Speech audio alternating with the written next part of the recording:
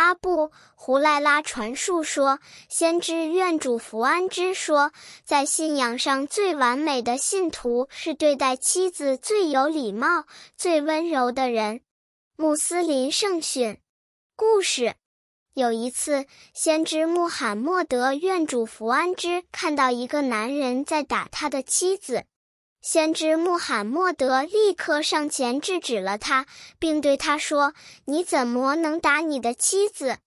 她是你的衣服，你应该保护她，而不是伤害她。”男人说：“她是我的妻子，我有权利管教她。”先知穆罕默德说：“真主赋予了妇女与男人同等的权利，你没有权利侵犯她的权利。”男人听从了先知穆罕默德的教导，向他的妻子道歉，并承诺以后再也不会打他了。